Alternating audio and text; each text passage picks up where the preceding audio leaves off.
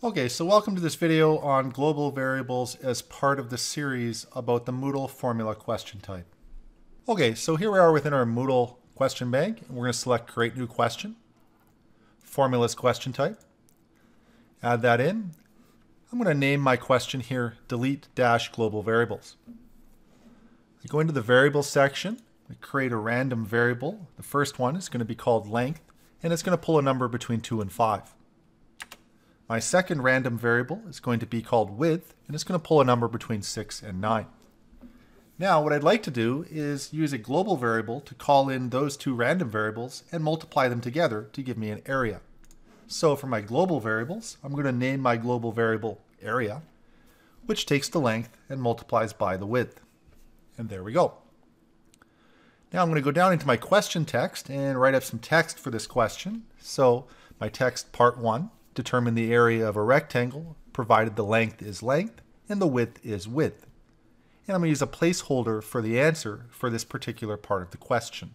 The placeholders being number sign part 1. Now I go down to my part 1 and I write my answer in here. My answer, of course, is going to be area. I want to change the grading criterion to absolute error to 0 so that students must write exactly the answer of area. And for my placeholder name, I'm going to use number sign part 1. Now, let's save it and preview it. We'll save the changes, hit preview, determine the area of a rectangle provided the length is 3 and the width is 6. Well, we should have an answer of 18. We'll check it. It seems to be working. And there we go we've now utilized a global variable as part of our first question. Let's learn more. We go up to variables and we'll add more in here.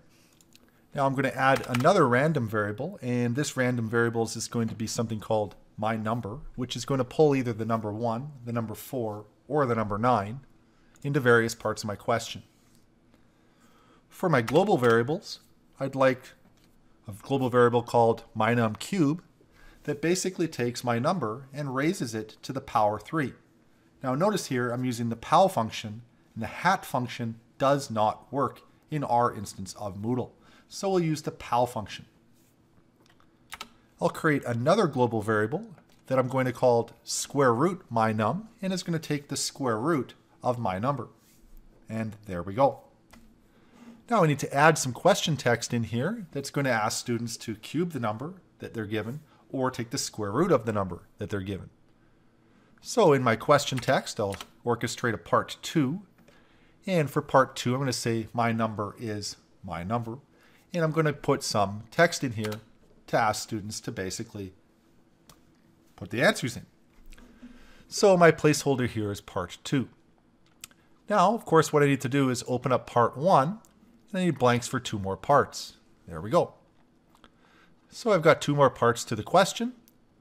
And of course, my answer for this part of the question is going to be the list of my num cubed alongside the square root of my num. Both of those things are going to be in here. My grading criterion, well, I need this to be absolute error equals to zero. I need students to specify the, exactly the right answer. The placeholder that I used up in my question text here was, of course, part two. And for parts text here, I need to place text in that says part 2, A, and first ask students to cube, and then B, ask students to square root. So, part A, the cube of my number is something, and the square root of my number is something. I'll format this text as I want to. There we go. Notice I'm using these placeholders here. This underscore zero in curly parentheses is saying the first answer is this, and here is saying the second answer is this. So again, your arrays, as normal, start at zero. So this is the zeroth item in the answer array.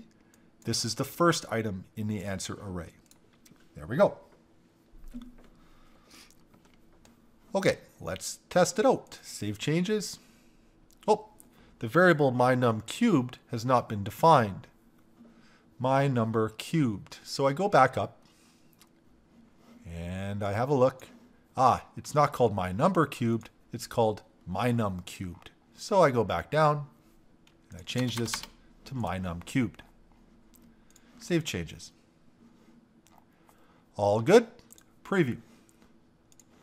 Determine the area of a rectangle provided the length is 4 and the width is 6. Well, that should be 24. My number is 4. The cube of my number is 64. And the square root of my number is 2. We check. And all is correct. It's working. Okay, let's build some more. We go up to variables. And let's now build a global variable and our global variable here is going to be called convert mark. That it's going to take a radian measure and convert to a degree measure. And the measure in radians that we're going to convert is pi by 4. Okay, so there we have it. We go into question 3 now. So we go to our question text and we place in question number 3 is pi by 4 converted to a degree measure is what? Fix a few things here. There we go. We'll call this part 3 and away we go. So we've got our question text nicely formatted. I'm going to go down to the bottom where my parts are. I need another part, so blank for more parts. There we go. And of course, what I just did here was I used a placeholder for this part called number sign part 3. And my answer, of course, for this part is just going to be the variable convert mark. I want absolute error equals to 0. And let's preview that. So we save it, preview it. Okay, so it says determine the area of a rectangle provided the length is 4 and the width is 7, so we get 28. My number is 1, the cube of my number is 1, the square root of my number is 1. And now our new part 3 says pi by 4 converted to a degree measure is, of course, that's 45 degrees. And we check it, and all is good. So it's definitely working. And so that's it. That serves as a really nice introduction to global variables as part of the Moodle formula question type.